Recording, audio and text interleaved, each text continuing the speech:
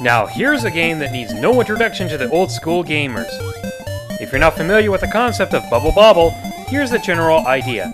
You're just going from screen to screen, killing off all the enemies that you encounter. Sounds pretty simplistic, right? Well, it is, sort of. But it's one of those one hit and you die kind of games.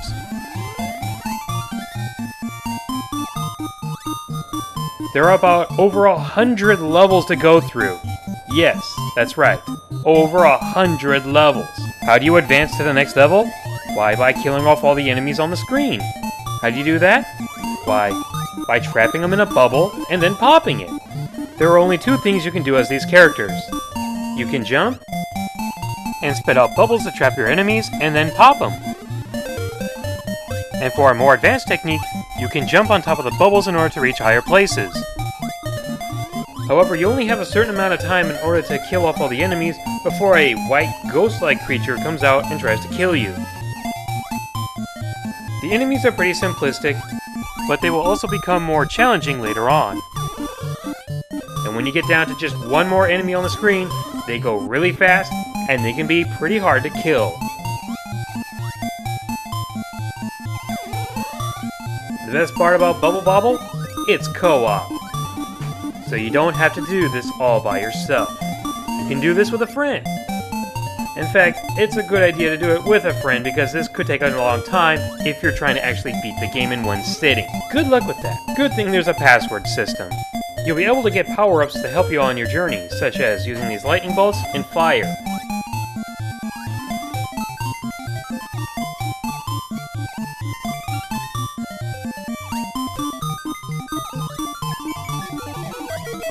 There's even more depth to this game than you might realize, such as the fact that there are some secret levels, which is actually what you've been watching this whole time. And what most players don't know is that there is actually a boss at the end of the game.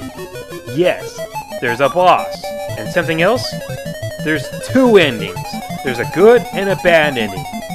If you want the good ending, you gotta beat it with two players. Some of these stages can be rather difficult, and you'll need any kind of power-up that can help you. And I mean any kind. You just gotta get something, because some of these levels are nearly impossible with just one person. You'll know what I'm talking about if you get to a certain level. Overall, it's simplistic and it has its challenging moments, but its best part is co-op.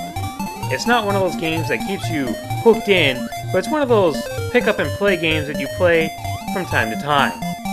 And the main theme of the game is pretty catchy, which is good because you'll be hearing it throughout every level except the final level. Bubble Bobble gets a 4 out of 5. A couple of flaws, but overall a good game.